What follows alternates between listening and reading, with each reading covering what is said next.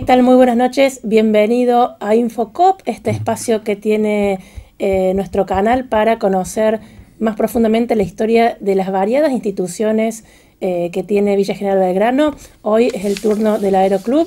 Está aquí con nosotros el presidente de la institución, Armando Remis, y Cristian Blum, quien es tesorero. Bueno, muchas gracias por estar, por acompañarnos. Sí, y jefe de aeródromo. Jefe de aeródromo también.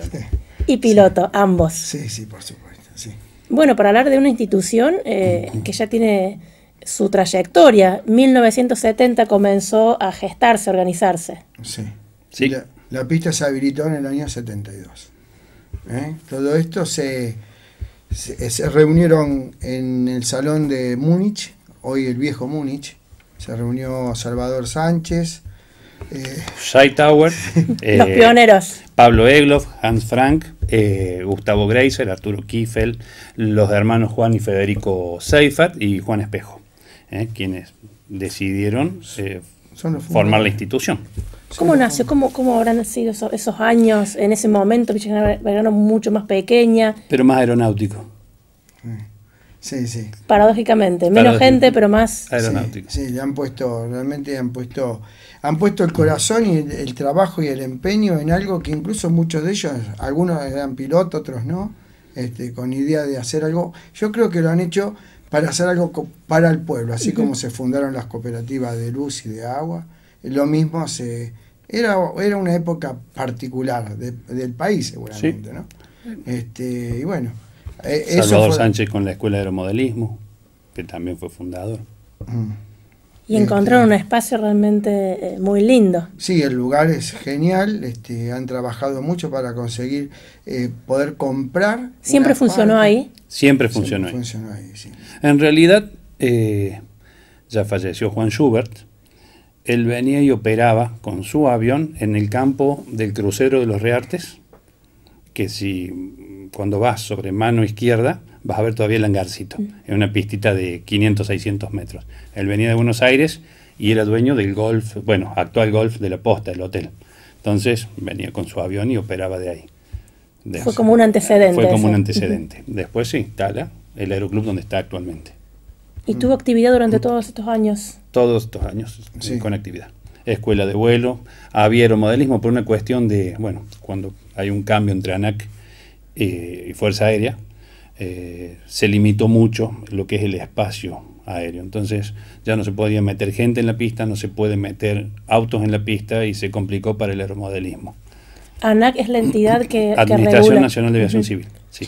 Nos decías hace un momento cuando charlábamos en la previa eh, que a lo mejor mucha gente no lo sabe, pero es un lugar muy bonito y quizás invita a pasar un momento como un parque, pero es como estar en, en la ruta 5. Es, hay gente que va a remontar barriletes y es como remontar un barrilete en la ruta, porque no, no ves cuándo puede venir un tránsito, más allá de que eh, se, endureció la reglamentación cuando pasó a, la Administración de Aviación Civil. Claro. Antes era más flexible. Claro, sucede que la pista está ahí y parece algo desierto. Para la persona común, la persona que no es aeronáutica, el tema parece algo desierto. Entonces lo ve, qué lindo, agarra una cámara de fotos, va, saca fotos. Depende cómo esté el viento, depende de muchas circunstancias, puede venir un avión en una senda de planeo y puede haber dos circunstancias. Una, que esté por hacer un aterrizaje por un toque de despegue, lo cual va a ver ese obstáculo y lo va a poder resolver, le va a dar motor y se va a ir, y va a volver de nuevo y la persona se va a alejar y la otra circunstancia es que venga en una emergencia y no tenga opción que más que aterrizar. Y ahí se podría generar un problema serio, ¿no? Este, se puede complicar. Entonces, eso que parece desierto tiene vida, tiene vida. Y cualquiera de nosotros que eh, habita ese lugar y que va, en más de una oportunidad nosotros estamos dentro de la confitería y salimos a ver cómo hacen toque y despego las escuelas de vuelo de la zona. Es una pista linda, corta, tiene una altura determinada para los alumnos, es una linda pista para practicar porque enseña mucho la pista. No es una pista difícil, pero es una pista entrenadora. Para los que estamos en el ambiente aeronáutico, el entrenamiento es importante. Y es una linda pista. Y tenemos a veces ese inconveniente, la falta de conocimiento de la gente hace que la pista se utilice para cosas indebidas. No, no se hace con maldad, se hace por desconocimiento. ¿no? Es bueno, es bueno subrayarlo entonces. Sí, sí, sí. El aeroclub también hoy día, digamos, los bomberos operan acá. Eh, es un dato que... Bastante seguido en estos días. Bastante seguido en estos días. Yo insisto mucho, soy uno de los que más insisto, con la importancia que tiene tener el matafuego en casa.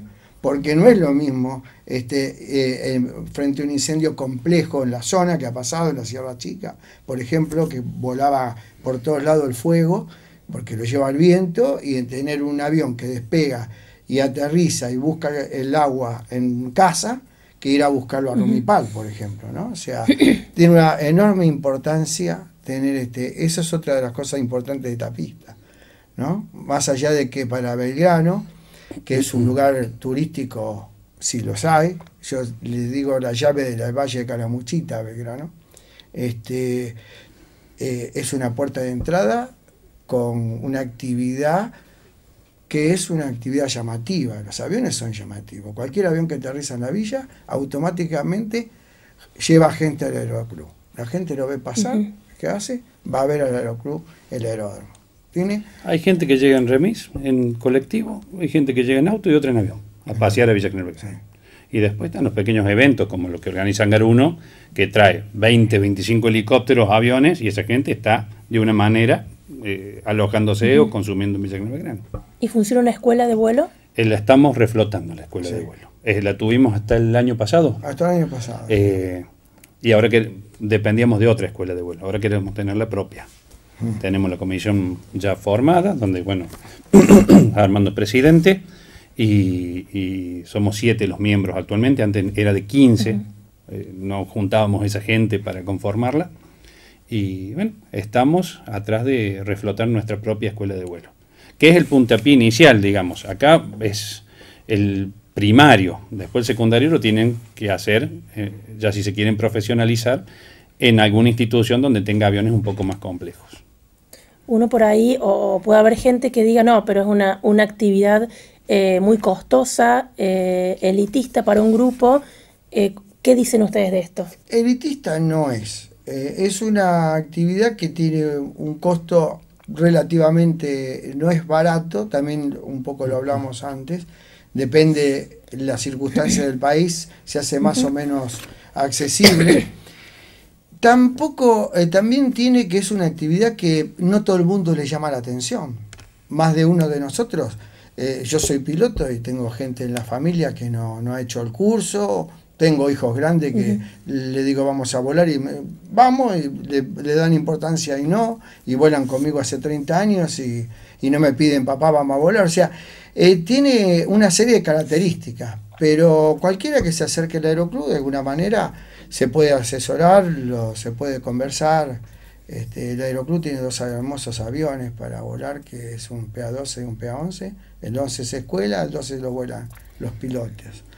Este, yo no quiero dejar pasar un, tampoco, ya que estamos en la charla, aunque me voy a un poco para atrás, que a, lo largo de todos estos años hubieron apellidos de gente muy conocida acá, ¿no? En, Belgrano, que más está Friedrich, hay un montón, de, porque es, eh, a, veces queda... Pilotos hay muchos, sí. pilotos hay muchos y gente que pasó por las comisiones directivas, estuvo eh, eh, Gustavo Carranza como instructor, qué sé yo, hubo hubo un montón de gente de que es muy complicado porque nosotros como estos fueron los fundadores lo nombramos pero el resto no es que uno lo nombra por ningún motivo en especial porque pasa que uno puede dejar afuera. no, no Guillermo Friedrich padre fue, padre fue, presidente del club eh, Gustavo Carranza fue instructor eh, Juan Schubert fue presidente eh, Tibor Horvath estuvo en la, en la secretaría más de una vez hay mucha gente por ahí acordarse de todos es medio difícil. Claro, claro, fueron, son como un montón de años, son como 40 años, ¿no? Es un montón de tiempo. Este, hoy día también vale destacar de que eh, la comisión directiva, con mucho esfuerzo, uno de los que más empujó fue Cristian, y mm. eh, junto con Valentinuzzi, el, este, el contador Valentinuzzi, le pusieron mucha fuerza, eh, Valentino se habla, que pobrecito. No, de una mano este, grande. Sí, sí, porque eh, todo el proceso que se hizo fue, es muy costoso, pero se ha hecho este, con prácticamente sin cobrar de, de, onda, y eso para nosotros tiene mucha, mucha importancia. Y llegamos hasta acá, y hoy hay comisión directiva, con lo cual se puede hacer más fuerza sobre la ANAC y pedir algunas cosas, y qué sé yo. Gracias también a él que colaboró junto con el resto, que cada uno puso su granito de arena. Y tenemos a Marcelo Vázquez hoy día, que tiene la empresa Tresa, que está dando una mano con el movimiento de tierra y mejorando un poco la pista. Con el tema de la prolongación, que hablamos hace un rato, que al ser corta es, se extendió. Se estamos tratando de extenderlo un poquito. Eso permite que lleguen aviones de mayor porte. Más comodidad. Más comodidad hacia la hora. Este, el, el, el, avión depende de la densidad del aire. Nosotros estamos a 850 metros de altura aproximadamente y, este, y la longitud de la pista eh, complica eso. Entonces, cuanto más larga la pista es, este, es, mejor el aterrizaje y todo. Pero bueno, esos son detalles técnicos que no tiene en este momento demasiado importancia. Y bueno, eh, el tema de los bomberos lo conversamos. sí, sí, con los bomberos tenemos un acta acuerdo firmado para que ellos puedan poner la cisterna y el aeroclub les cedía el, el predio. En la época de Sergio Favot Ciso, en el periodo anterior a Fabián. Ah. ¿Cuántas horas de vuelo se requiere para obtener la licencia de piloto? Desde muy joven, bolas, Cristian, nos decías 17 años. Sí, empecé con Damián Sismondi el curso acá. Eh, son 40 horas el curso, más 7 del BCR, que es una, una habilitación para poder entrar en aeropuertos que hoy hay que tenerla sí o sí. O sea, el eso es, eh, perdón Armando, eso es el, el inicio, ¿no? lo básico que decía, el primario. Después sigue la licencia de comercial y de la comercial abre el abanico para aeroaplicador, instructor de vuelo, eh, extinción de incendios o TLA, que es la de transporte de línea aérea. En, algún momento tendría que venir Cristian a hablar sobre la aeroaplicación, este, pero tendría que ser un programa especial para eso, para sacar algunos de fantasmas que tiene la aeroaplicación. ¿no? Tenemos acá uno que está vivo y coleando y, este, aeroaplica y bueno. Nada, eso es un tema aparte. Pero como lo nombró, me acordé. Y siempre es interesante escuchar todas las opiniones de todos los temas. Por supuesto que sí. Sí. Es, es, todo muy, muy, muy interesante. Acá tenemos el, el, libro de acta, esto es historia pura, el, del, el número uno. ¿no? También es, es lindo. Este, es lindo, es una historia muy interesante. Y yo creo que la mayoría de los pueblos del interior. Y que haya tenido continuidad, porque seguramente ha habido momentos más complejos, ha, habido obstáculos que, que derribar. Muchos. Como jefe de aeródromo hay muchas cuestiones también que regular eh, alrededor de la pista. Sí, el trabajo más, eh, digamos, ingrato, ¿no? Porque uno tiene que poner la cara eh, y por ahí pelear con gente o discutir sin ganas, porque de del hecho que haya un alambrado ya delimita una propiedad. Entonces, pero bueno, hay que hacerlo. No es grato, pero es necesario. Está prohibido, por ejemplo, eh, las antenas o cierta altura. también hay reglamentación precisa. Había, eh, hay hay, hay un, un, cono o una senda de planeo que se llama para las edificaciones y construcciones, que es hacia los costados de un 20% y eh, de las cabeceras un 5% dependiente para poder construir.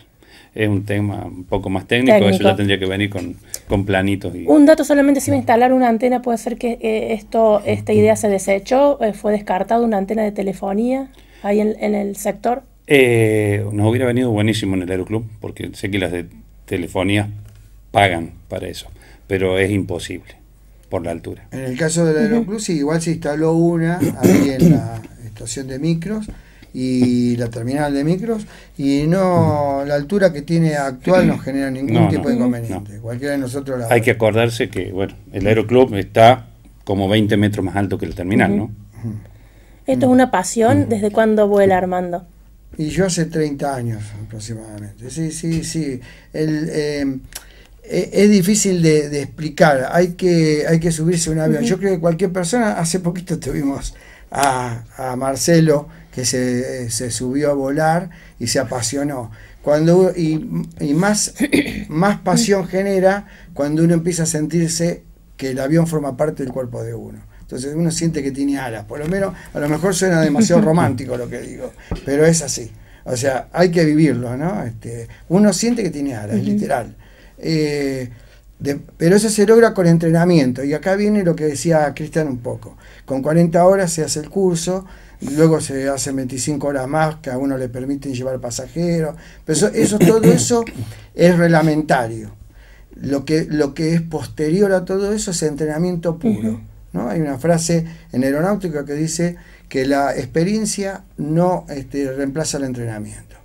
Usted puede tener 8.000 horas de vuelo y manejar el Boeing más grande del mundo, se enferma tres meses, tiene que volver de nuevo a empezar con un instructor que lo ayuda, con los simuladores. es, complejo, es muy lindo. Pero estamos en 3D, digamos, ¿no? Uno está en el aire, está a 100 metros de altura, 200, 500. Es, muy lindo. Es indescriptible. Hay que probarlo. Hay que probarlo. ¿Cuál es el costo aproximado de la hora de vuelo? ¿Y hay, hay un límite para hacer esas 40 horas? En el tiempo, digo. Lamentablemente, lo, del curso? más lo conoce Cristian que yo hoy día, porque va cambiando. un el chico joven que quiera comenzar. El mínimo son 45 días para realizar el curso, las 40 horas, y el máximo dos años. Pasado esos dos años, se computa la mitad. Si volaste 20 horas, se te computan 10 y seguimos con el curso. Después, si pasan dos años más, chao. No puede estar uno cuatro años para hacer un curso porque, bueno, no va a tener eh, ni siquiera el, entrenamiento para poder aterrizar el avión. De eso se trata, de entrenamiento. Volvemos siempre a lo mismo. y 45 días, claro, lo ponen como límite porque si no es casi una locura. Nadie lo puede hacer 40 horas en 45 días. Muy, no, por el clima, por tiempo. ¿Y el costo aproximado de la hora? Eh, bueno, tenemos un problema ahora con, el, combustible. porque, a ver, hay, yo veo, hay dos formas de volar un avión. Una, un avión particular, como si fuera un automóvil, donde uno dice, ah, lo llevo al taller, le paga el taller, el seguro lo paga mensual y, se acabó. Y la otra es eh, por un costo de hora de vuelo, cuando el avión no es propio, donde ahí entra todo, seguro, mantenimiento, y eso se hace en la mayoría o en todos los clubes combustible por tres. Entonces, el avión consume 20 litros a Hoy va a estar en 50, 55 pesos el litro, 58 por 3. Entonces eso da un costo de una hora de vuelo. La hora de vuelo del PA11 estaba hasta este aumento en 2.600 pesos. ¿eh? es el cálculo aproximado. El cálculo aproximado, porque el avión entra al taller una vez al año o cada 100 horas, lo que suceda primero. El avión llega a X cantidad de horas dependiendo del motor, algunos 1800, otros 2400, otros 2000 horas, y el motor se hace completo. Hoy hacer un motor completo son 27, 30 mil dólares. Entonces, eh, se trata de meter todo en una hora de vuelo. Ahora, si el avión es particular, uno dice, ah, tengo que hacer el motor, es como llevarle el auto acá, no sé, a Sturmer, a cualquier mecánico. bueno, se hace el motor, se pagó y uno se fue. Pero cuando es de un club, eh, lo tenemos que cuidar entre todos y pagar entre todos. La única forma es esa.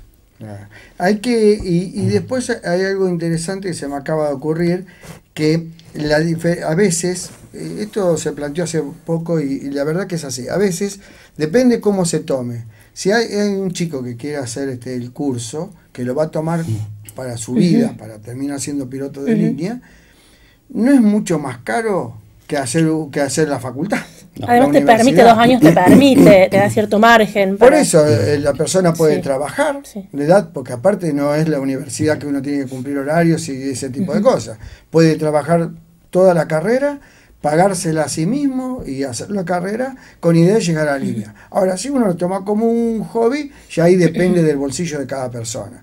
Pero hay que sacar el cuco de creer que un chico de 17 años, que es cuando se puede empezar el curso, 17 años con 6 meses, creo, para poder rendir a los 18, este, eh, el cuco de que es una carrera cara, porque cualquier chico que hoy uno la manda a la universidad le tiene que pagar en, en Córdoba el hospedaje, bueno, todo lo que suma eso, y si va a una universidad privada ni hablar, tranquilamente puede hacer el curso con idea de futuro de, llegar hasta la línea. Y después dependerá de cada, e, de cada uno si llega o no. Pero eso pasa también aunque se reciba de ingeniero o de médico o lo que fuere. En todos los casos, seguramente. Ya en este tramo final no queríamos dejar eh, pasar esta apertura que se percibe desde el Aeroclub, que tiene que ver con varias actividades que han realizado. En esos casos, nos decía, se clausura la pista y se utiliza, no sé, para cuestiones recreativas, como lo han hecho hace muy poco. Tuvimos el caso de, estas barrileteadas que hicimos, donde además pudimos o tuvimos la suerte de poder llevar a volar casi 20 chicos eh, ese día, el primer día de la barrileteada. Chicos que ni se lo esperaban. Eh, pero para realizar la barrileteada tuvimos que clausurar durante un periodo la pista. Eso se publica, sale por nota, que es eh, Notice to Airman. ¿eh? Ahí sale publicado, cada uno que va a salir, va a venir a Villa General, va a ir a Buenos Aires, va a ir a Salta, entra en Notam, dice, ah, aeródromo clausurado de tal fecha, tal fecha, tal hora, tal hora, por tal motivo y listo, entonces no va. Y esto no es un caso aislado, hay una postura de tratar de, realizarse, relacionarse de otra manera con las instituciones, de abrirse a la comunidad. Sí, sí, sí, nosotros no hay ningún problema, queremos que se acerquen también y nosotros también por ahí damos alguna vuelta por algún otro lado. O sea, es la idea. Después, bueno, recién empezamos la comisión directiva porque en los últimos años Cristian fue, digamos, digamos, hizo todo, ¿no? Pateaba el penal, salía corriendo y lo atajaba. Entonces, ahora está, le estamos tratando de dar todos un poco una mano y que eh, esto funcione. Entonces, ya para recibir gente, para hacer distintos eventos, hay más este, gente para laburar. Bueno, Cristian, muchísimas gracias por estar. si quieren, quieren cerrar con, alguna información, con algo, algún dato que haya quedado. En particular, nada, en el caso mío, agradecerles a ustedes, por ejemplo, que difundan, que para nosotros es importante de, todo lo de Aeroclub, que lo sigamos difundiendo cuando estamos atentos que nos llamen. Y a la gente que ayudó, a Valentín Uzi, a Marcelo Vázquez, bueno, a Cristian, todo lo que estamos acá. ¿Eh? Lo mío es circunstancial, ya lo Soy el más viejo, por eso estoy ahí. Así que no, yo le agradezco la nota ¿eh? y la difusión de, nuestra institución. Bueno, gracias a ustedes. ¿eh? buenas noches. Pausa en Infocop, enseguida volvemos con este espacio que sigue creciendo y alimentándose de la historia de las instituciones. Enseguida volvemos.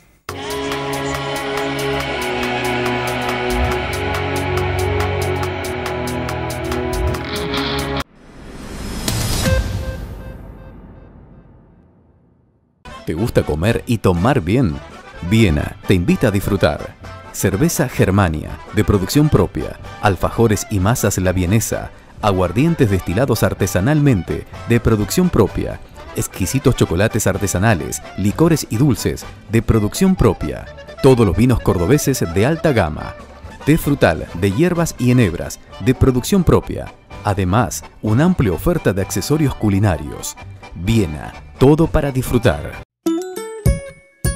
Centro Oftalmológico Calamuchita Primer centro de diagnóstico y tratamiento ocular del Valle. Recetas de anteojos, campo visual computarizado, paquimetría, topografía, fondo de ojos, atención de urgencias, controles para licencia de conducir. Doctor Fernando Remis, ganador de Premio Innovar 2010. Joven oftalmólogo destacado 2010 y mención especial del Círculo Médico Paraná. Abierto de lunes a jueves de 9 a 18 horas en horario corrido. Turnos al teléfono 46 21 23 o al celular 15 45 56 38. Centro Oftalmológico Calamuchita. No te prives, tu tranquilidad está en nuestras manos. Seguridad SG. Instalación de sistemas de seguridad. Visualización a distancia y monitoreo de alarmas. Cámara de seguridad. Grabación digital de video Seguridad SG, Sistema de Seguridad de Avanzada.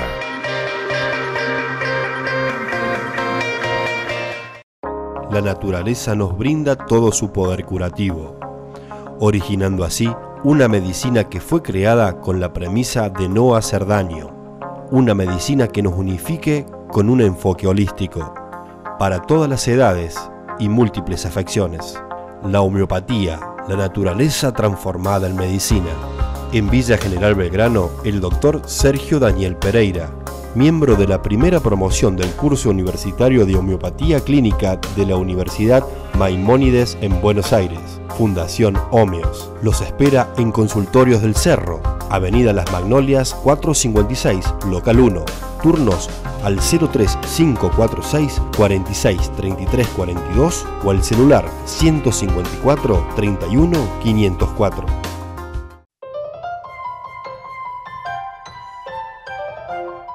En el castillo romano, la magia nos envuelve en un espacio que nos permite rememorar a través de objetos cotidianos y vivir la historia de nuestros antepasados, junto a la alegría de sus muñecos autómatas y la historia del Cerro de la Virgen y el Cristo Grande. Castillo Romano. Ingreso por el arroyo, junto al cartel Artesanos Romano.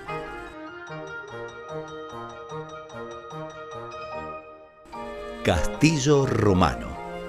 Otra mirada al pasado desde el presente. Galazo Helados presenta como siempre lo mejor para vos. Ahora también cervecería y cafetería, repostería artesanal, lomos, hamburguesas, pizzas, variedad en papas fritas. Delivery al 46 24 24.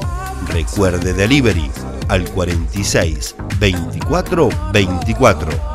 Heladería y cafetería Galazo. Lo mejor para vos.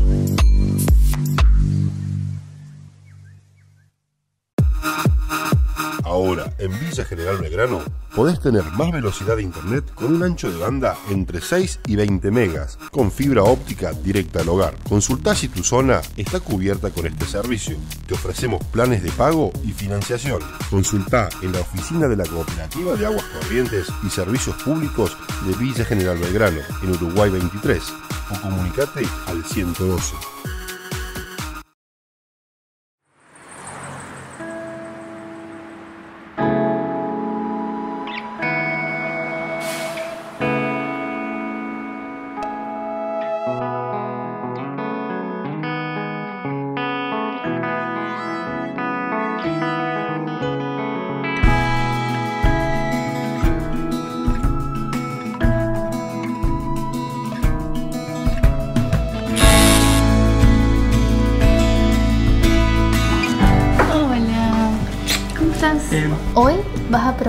Poquito de todo lo que estoy haciendo estos días. Ah, sí. Todo es muy, muy rico. Bueno, entonces si vos haces de comer, yo hago los platos. Ay, son para mí. Ay, son Llegan 15.000 nuevas oportunidades para el PPP y PPP Aprendiz, los programas sociales bandera de nuestra provincia semilleros laborales por los que ya pasaron más de 160.000 jóvenes cordobeses. Inscribite en equidadyempleo.cba.gov.ar. En el arca de Noé nos agrandamos. Además de los animalitos de nuestra granja, tenemos nuevos juegos para que te diviertas a lo grande. Cama saltarina, tirolesa, puentes de equilibrio, arborismo, mini golf, trencito de aventura, toro mecánico, reloj, pista de patines de Soy Luna. Además, los sábados y domingos, dos funciones de una obra de teatro para disfrutar en familia. Y todo con el valor de la entrada. Abierto todos los días de 8 a 20. Residentes de Villa General Belgrano y de Santa Rosa, presentando DNI, abonan el 50%. Te esperamos. Vas y siempre volvés. 101.9, la radio de las culturas. Siempre te quedás. Su frecuencia favorita en BGP. Todo el color de la temporada. Las 24 horas. Juguetería y Cotillón Matute atienden sus dos locales de Avenida San Martín para brindarte la más amplia variedad, calidad y los mejores precios para que armes la fiesta y no te olvides del regalo. En Juguetería Matute, en Avenida San Martín 254, encontrá juguetes para bebés, niños, muñecas, personajes de acción, rompecabezas, juegos lúdicos y pequeños presentes. Cotillón Matute, en Avenida San Martín 217, tiene todo para realizar la mejor repostería, variedad en moldes, cortantes, mezclas para bizcochuelos. Decora tu torta con una gran cantidad de productos, golosinas al mejor precio. Todo en vajilla de plástico de diversos colores. Vení al lugar donde los que saben de fiestas vienen. Juguetería y cotillón Matute.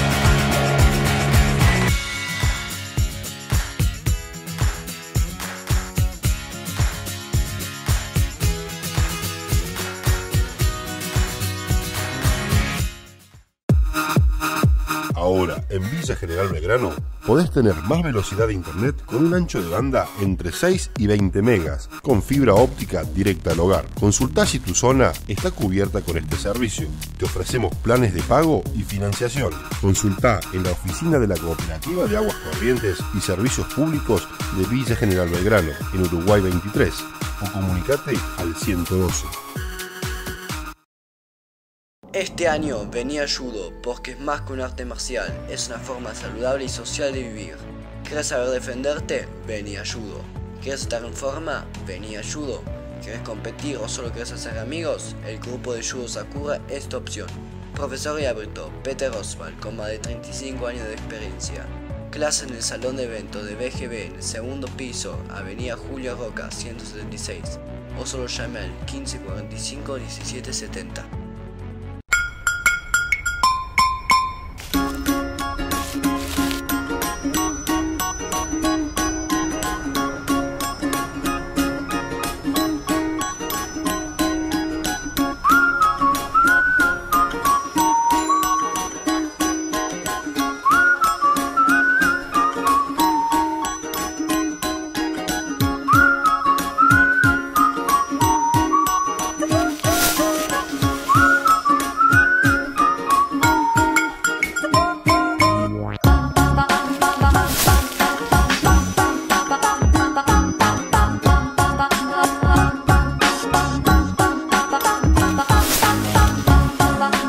Sacate el nylon. Es hora de tu primer trabajo. Llegan 15.000 nuevas oportunidades para el PPP y el PPP Aprendiz. Los programas sociales bandera de nuestra provincia, semilleros laborales por los que ya pasaron más de 160.000 jóvenes cordobeses. Inscribite en equidadyempleo.cba.gov.ar. Peisa, líder en calefacción central Sistema de calefacción por agua caliente sanitaria, por radiadores o piso radiante. Opción alternativa por energía solar. Soluciones eficientes y a la medida de cada necesidad. Comfort BGB, representante zonal. Climatiza la villa y el valle con precios de fábrica. Nos mudamos a Avenida Ojo de Agua 76, local 5. ML Servicios. Alquiler de contenedores. Traslado de vehículos hasta 7 toneladas. Limpieza de terrenos.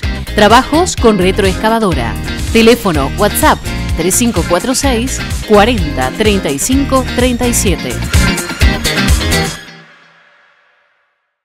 Forrajería El Molino. Gran variedad de alimentos balanceados para tu mascota y fardos de alfalfa, maíz y avena para animales de granja. También venta de leña y gas envasado en garrafas de 10, 15 y 45 kilogramos. Forrajería El Molino, Julio Roca 1224, teléfonos 46 1351 o 15 48 0135. Realizamos entregas a domicilio.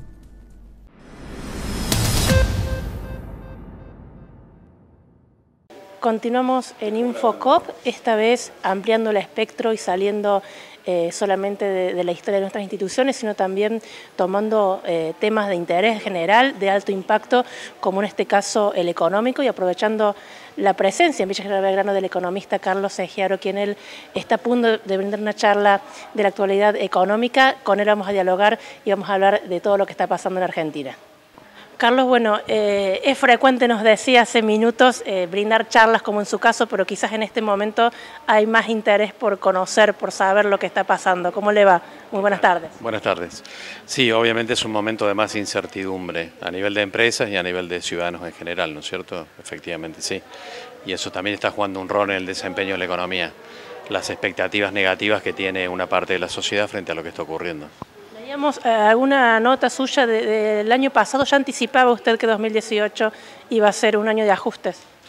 En realidad, ya a fines del año pasado era evidente que las variables macroeconómicas, como decimos, mostraban un nivel de inconsistencias desde el punto de vista técnico que preanunciaban evidentemente un proceso de ajuste porque era imposible sostener esas inconsistencias, entre las cuales se destacaba claramente un tipo de cambio atrasado, un dólar barato, para decirlo así, que es una parte de la explicación de la corrida cambiaria y una combinación con tasas de interés este, muy elevadas que estaban generando desde hace dos años una bicicleta financiera que daba rentabilidad a actores especulativos en contra de los sectores productivos.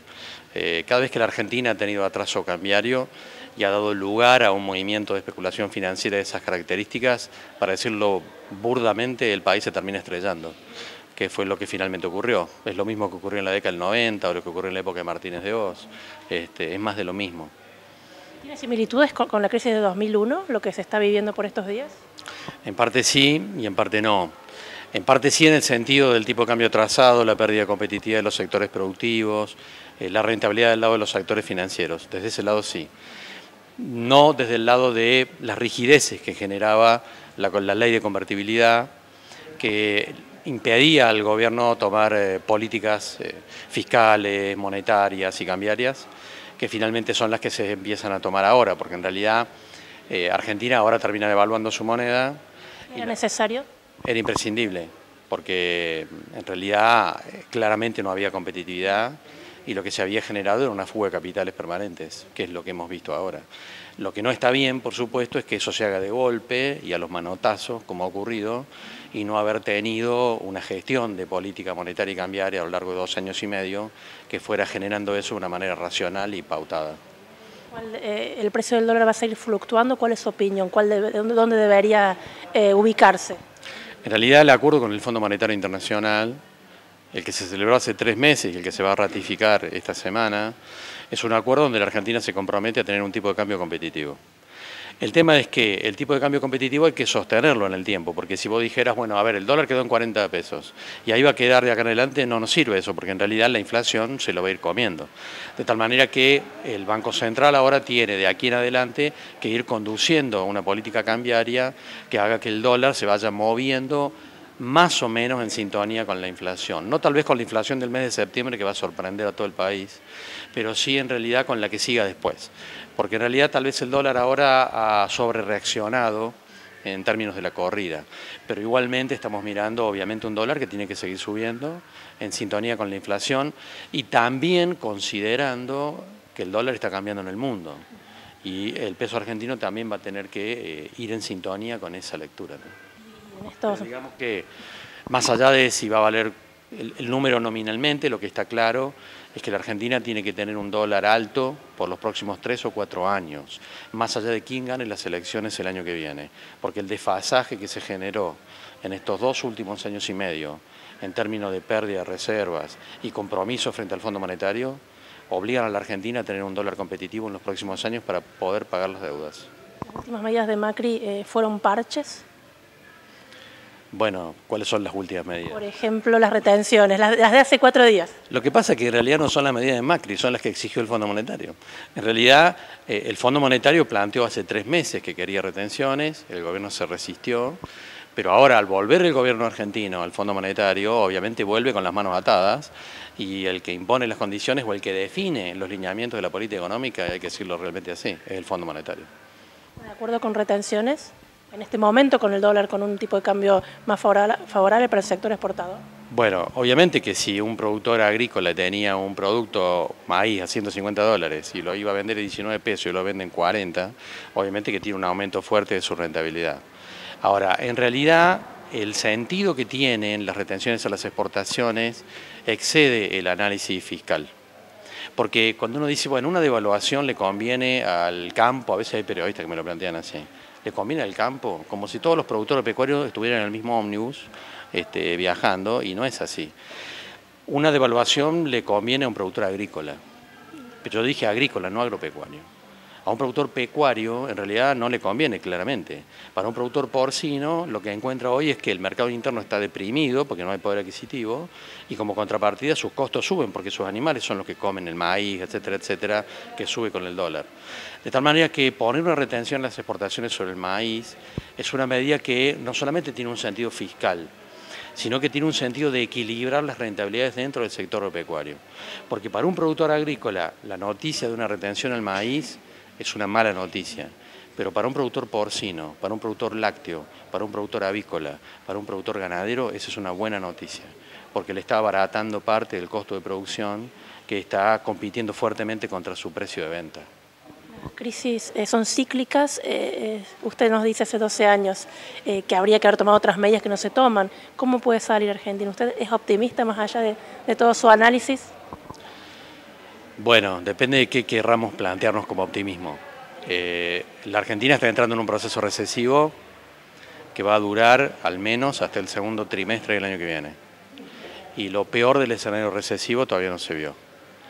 Y en realidad el año que viene, cuando empiece la recuperación de la actividad económica, tampoco va a ser eufórica ni va a haber ninguna fiesta. Va a ser un proceso lento de recuperación. Las cuentas externas van a cerrar, claramente, porque con este tipo de cambio van a cerrar. Las cuentas fiscales se van a ir acomodando. Ahora, ¿qué ser optimista o no? Porque en realidad Depende de dónde está parado cada uno en términos de intereses para evaluar si eso es bueno o es malo.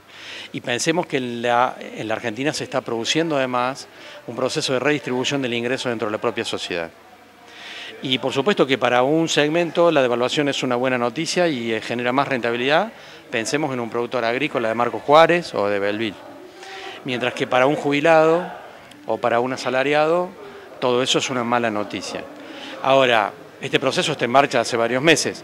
El golpe de evaluatorio primero empezó en abril, mayo, y Villa General Belgrano tuvo un nivel de ocupación en julio del 95%. Pero Santa Rosa y Calamuchita estaba casi vacío. En realidad, son dos localidades que ofrecen servicios turísticos a segmentos distintos de la sociedad argentina. El proceso de redistribución del ingreso te genera también eso genera ganadores y perdedores, donde cada uno también tiene que saber dónde está parado. Si yo me ubico en las reuniones con los supermercadistas estas últimas semanas, los supermercadistas en Córdoba, en Villa María, en Río Cuarto, en Rosario, todos te dicen lo mismo. Te dicen los productos que más están aumentando su velocidad de rotación en góndola son fideos y arroz lo cual está mostrando que hay segmentos de la sociedad argentina que no están llegando a fin de mes, que tienen que cambiar su dieta para poder acceder a determinados productos. Y como contrapartida, y fue muy fuerte, porque yo soy de Villa María, en la Cuenca Láctea, un supermercadista de Córdoba me dijo, yo no voy a poner más quesos duros en la góndola, son invendibles. Bueno, esa es parte de la misma realidad, de cómo la góndola se va modificando en función de la distribución del ingreso en la sociedad. Pero también es cierto que hay un 5% de la sociedad argentina que es el segmento que llamamos ABC1, que tiene ingresos a nivel familiar por arriba de los 215 mil pesos mensuales. Ese segmento es el que viene a Villa Belgrano a pasar el fin de semana. De tal manera que hay noticias que son buenas para alguien y son malas para otros, ¿verdad? El costo lo paga eh, los segmentos que usted mencionaba, los jubilados, los asalariados que han visto en muy poco tiempo eh, volarse el poder adquisitivo, el poder de ahorro prácticamente ha desaparecido en muchos, en muchos sectores de la Argentina. Eh, pero todavía no vieron lo peor. En realidad septiembre va a ser un mes durísimo porque esta última devaluación va a generar remarcaciones en los precios que van a ser muy duras para algunos segmentos de la sociedad sin duda. Los sueldos están por muy por detrás. Es que eso es parte del ajuste en términos de lo que el mismo Fondo Monetario está planteando. Eh, una recurrente eh, explicación o quizás salida del actual gobierno es eh, echar un poco las tintas, cargar las tintas sobre la herencia. ¿Tiene algo que ver en todo esto? evasiones, grandes evasiones, sobornos que se están denunciando por estos días, que se está ventilando a través de los famosos cuadernos. La Argentina tiene un combo de problemas. Y por supuesto que el déficit fiscal es una herencia que el anterior gobierno le dejó a este. Ahora, la corrida cambiaria que es la clave central de lo que estamos analizando, es una, digamos, es el resultado de la gestión de este gobierno. El gobierno anterior le había dejado atraso cambiario a este, pero en realidad al salir del famoso, de la famosa situación a comienzos del 2016, en realidad el gobierno argentino acomodó a comienzos de este del 2016 el tipo de cambio, eh, a la salida del llamado CEPO, digamos. Eh, o sea que a comienzos del 2016 la Argentina tenía un tipo de cambio competitivo. Lo perdió después por la gestión del Banco Central de la República Argentina, del Banco Central de la República Argentina de esta gestión de gobierno. El atraso cambiario y la bicicleta financiera que generaron todo esto, este gobierno no se lo puede achacar ni a Cristina Fernández, ni a Donald Trump, ni a Turquía, ni a Brasil, ni a nadie. Es una responsabilidad de este gobierno y de la gestión de este Banco Central. ¿El próximo gobierno va a seguir atado al Fondo Monetario? Sí, porque el descalabro que se generó en realidad remite a compromisos que van a durar años y por lo tanto son un condicionamiento para el próximo gobierno, sea del signo que sea. Su idea hoy también es eh, plantear a la gente lo que mencionaba hace algún momento, el impacto a nivel regional, local, que tiene toda esta situación de crisis. Si nos da el rato vamos a terminar hablando de negocios, porque efectivamente más allá de, todo lo que está ocurriendo hay oportunidades y hay amenazas.